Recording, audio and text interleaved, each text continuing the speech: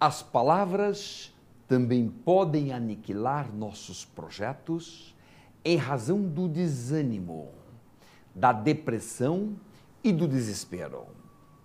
As palavras são o vento que sopra para o norte ou para o sul, podendo nos aproximar ou nos afastar.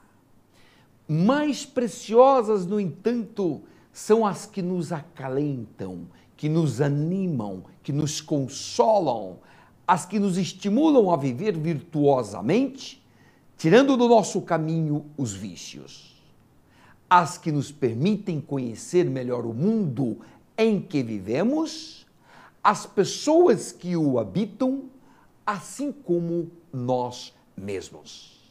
É nosso dever fazer bom uso das palavras. Avante!